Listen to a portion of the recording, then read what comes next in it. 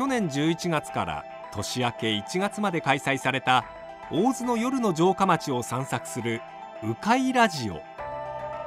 地元の観光地域づくり法人北マネジメントと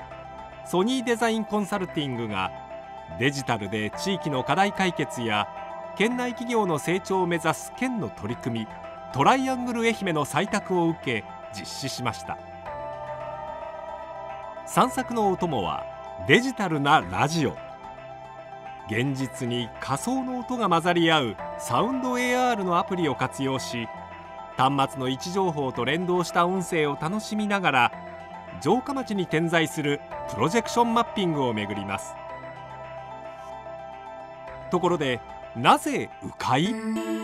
その答えはツアーのお出迎えに。ようにおいでたの私は皆さんの先導役を務める鵜飼名人頼井道子。突然現れたこのサウンド船に乗り込んで帰宅の道を面白に迂回して大津の魅力を存分に味わっておいきや。音声の迂回の先導にいざなわれ道を迂回して楽しむから。迂回ラジオ。特定のエリアに近づくと端末の位置情報がキャッチし音声が聞こえるのです、えーまあ、今回のトライアングル愛媛の、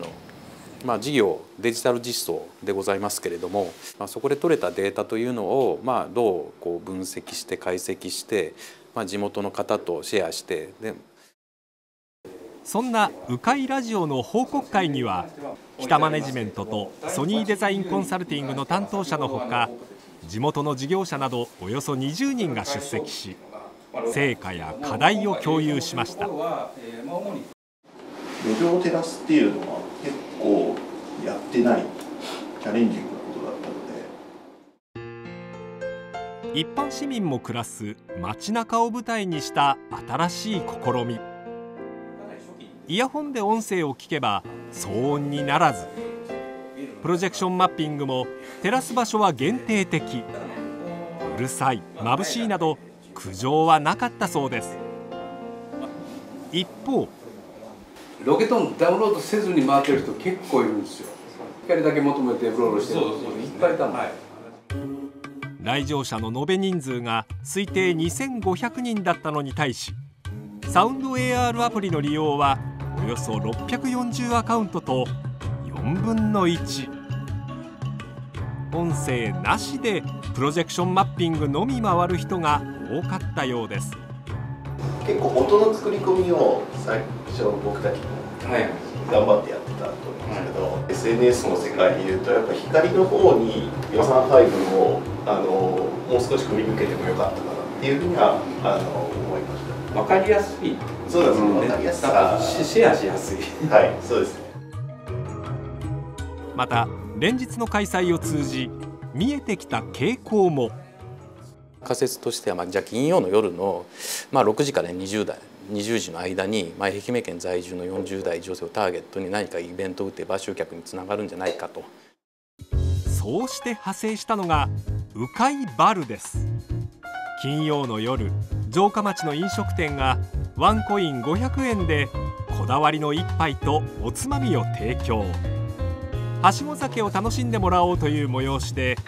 開催日には通常の4倍近い人出を観測するなどまさに狙い通りでした。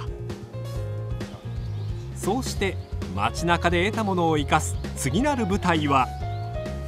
大洲城や我流山荘といった観光施設です。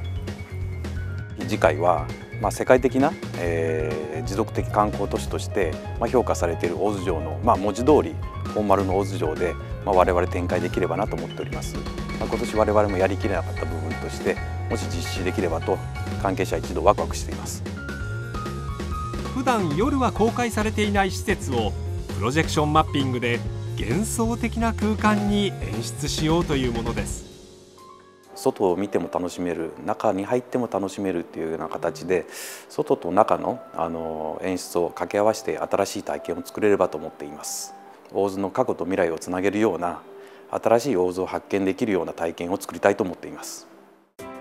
ま、夜間の観光夜間の経済的な波及っていうのはあの特に、えー、町を活性化するものだと思っておりますので、まあ、大久城も、えーまあ、一つの例なんですけどもあの我流山荘だったり万仙荘だったりまだまだ、えー、住民の方に知られてないようなですね観光施設を紹介するためにもですねあのこういう公共の観光施設で、えー、プロジェクションマッピングをトライしていきたいなと考えております。